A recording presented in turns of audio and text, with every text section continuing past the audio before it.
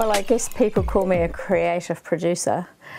Um, and I guess the creative part of that is, well, I think everything you do as a producer is actually creative because every decision you make has a creative impact. As a producer, your job is to keep steering the ship so that you don't go up, you know, expensive dark alleys that aren't going to make a big difference to whether the film is good or great.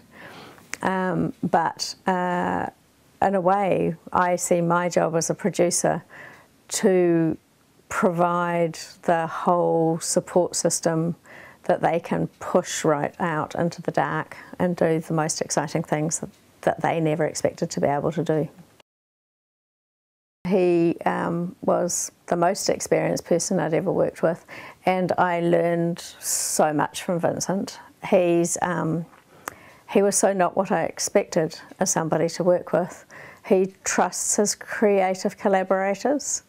Um, he knows what he wants and he's got great ideas, but he really works with people, the people he um, is working with technically and creatively. Um, he will push them, that's his job, but he also trusts them.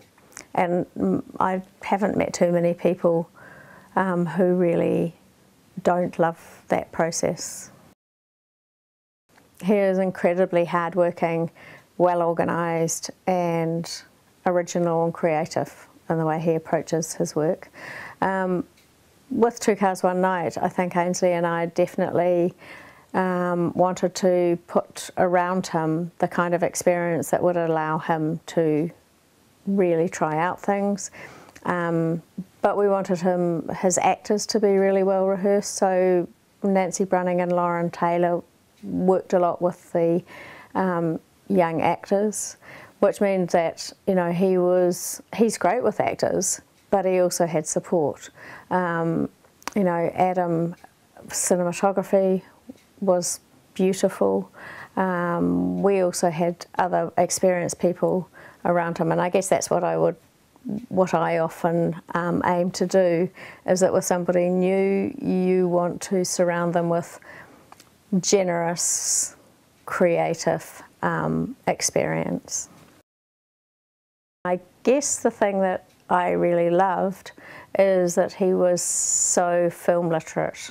He knows world cinema he knows his own culture, but he knows everybody else's culture as well. I think that's one of the things we undervalue in New Zealand, is that a lot of um, Māori and Pacific Islanders have the same education as um, us Pākehā, uh, so introduced to the knowledge of the Western world, the knowledge of the rest of the world, but actually what they also bring is the knowledge of their world, which gives a unique advantage of um, bringing together many more um, uh, ways of seeing the world and um, the depth of culture.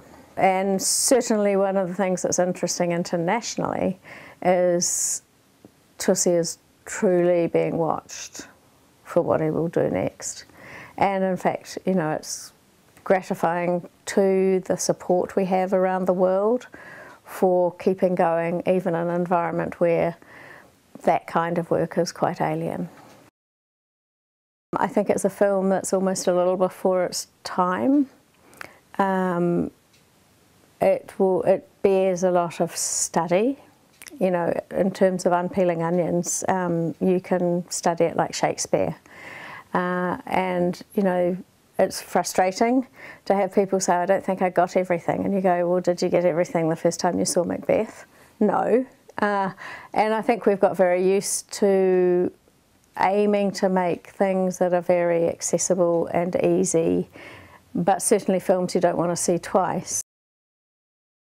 The A-list festivals are like the shopfront of Harrods, really.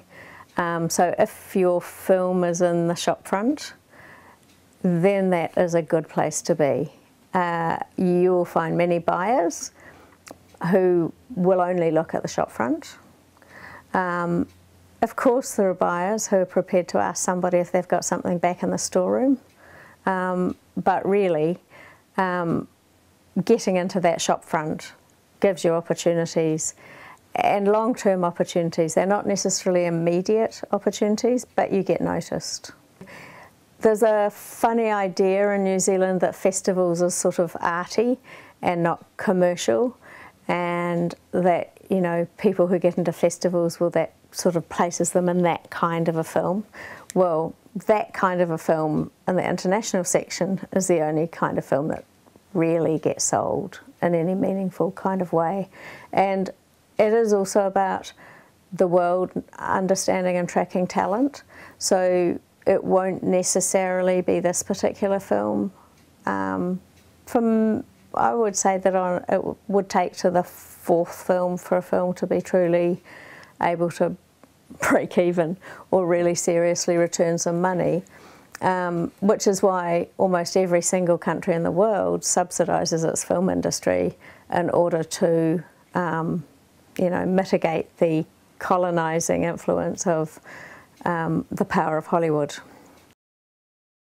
Ironically, the power of the state funding agencies subsidising our industry actually affects it in a way that commerce wouldn't.